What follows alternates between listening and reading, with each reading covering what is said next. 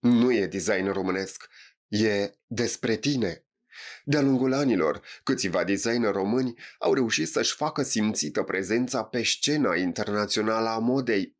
Nume precum Maria Lucia Hohan, Andreea Bădală și Ioana Ciolacu au pus un pin important pe harta industriei fashion. De exemplu, în ultimii 10 ani, brandul Murmur al Andrei Bădală a îmbrăcat unele dintre cele mai sonore nume din industria muzicii.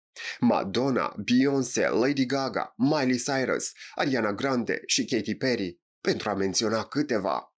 Creațiile designerului român au fost imortalizate în editoriale spectaculoase, în reviste glossy, cum ar fi Vogue, Elle, InStyle și Paper Magazine. Creațiile Mariei Lucia Hohan sunt în top pe lista stiliștilor care se ocupă de aparițiile starurilor de la Hollywood. Goldie Hawn, Jennifer Lopez, Stacy Kibler, Carolina Parsons și Natalie Morales au fost surprinse pe covorul roșu în ținute semnate MLH.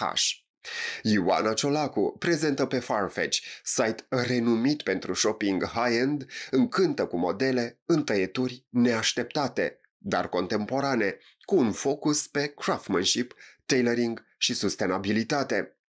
Povești de succes sunt multe. Timpul este limitat și mă împiedică în a le menționa pe toate. Dar tu, românule, ar trebui să le descoperi pentru a înțelege că și în țara ta sunt designeri care duc visul românesc departe, peste granițele acestei țări. O țară care nu este ca afară, dar cei de afară o văd așa cum tu de multe ori nu o vezi.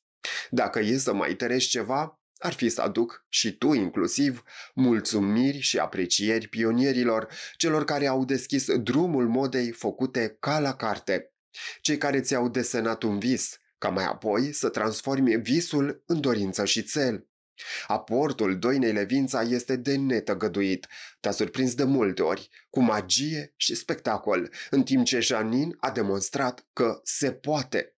Și ar mai fi ceva. Înainte să dorești creațiile caselor mari de modă, uită-te și la ce opțiuni ai aici, acasă.